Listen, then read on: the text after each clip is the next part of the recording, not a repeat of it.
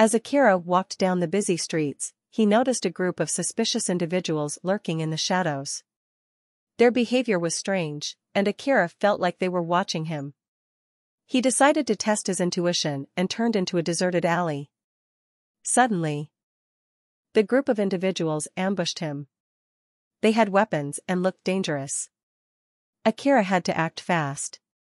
He focused his mind and unleashed a powerful blast of energy that knocked them all out. Breathing heavily, Akira realized that he was in danger. He needed to find out who these people were and why they were after him. He decided to investigate further and set out to find some answers. Just as he was about to leave, he noticed a strange symbol on one of the assailant's arms. It was a serpent coiled around a skull. Akira had seen that symbol before. He knew that it belonged to a secret society.